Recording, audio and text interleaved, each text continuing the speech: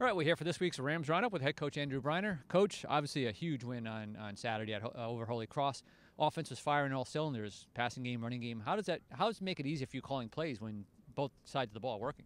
Yeah, I, I for, as a play caller, it, uh, it, it opens up your your call sheet, uh, gives you confidence that if you're executing A, B, and C, you're going to be able to execute D, E, and F. So uh, you know the the guys did a tremendous job executing at a high level, and on the defense side of the ball too. It, it's it's comforting when, when you have that confidence that, that it's a three and out or, or, or short drives and, and the offense is getting the ball back. So it was it was a day that, that things were clicking well.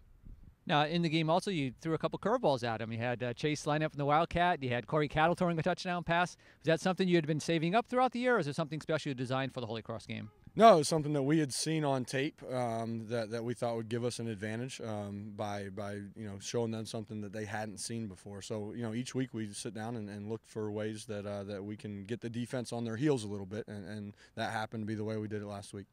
Now, this week, uh, you close out the regular season, a trip out to Bucknell. Bucknell is always a tough team. Defensively, they're solid. Um, what are we looking for from Bucknell? Yeah, I expect a, a tight game. Um, the last four meetings with Bucknell have been decided by a total of 16 points. Um, so uh, we've had some wild ones. Uh, they've all been tight. Uh, so I expect a, a hard-fought football game. You mentioned the defense; they're they're stout again this year, as they always are. And offensively, they're physical. Uh, they're, they're, they take pride in their ability to run the ball, and they have uh, they have playmakers at receiver that can make things happen down the field as well. So it'll take a complete football game on our part to uh, to get out of there with a win.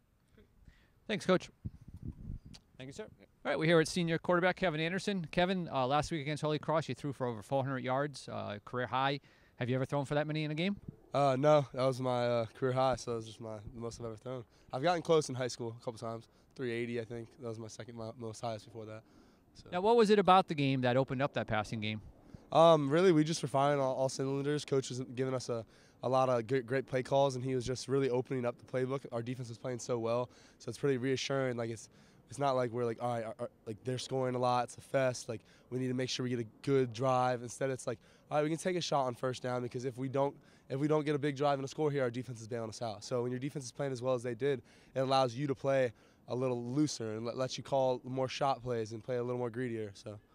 Now this week, yeah, you're going to face a very strong defense in Bucknell. Um, you know, what are you looking for from them as far as trying to, uh, you know, some things you're looking to take advantage of? Yeah, I mean they're a great defense. Uh, their whole front seven, the the, the D line, linebackers, they're just very very stout and they're great against the run. So uh, we're just looking forward to really just trying to, like I can't say exactly what we're trying to get after them, but uh, we're just really going to try and be aggressive and play the same type of game we played against Holy Cross, and hopefully we'll have the same type of outcome.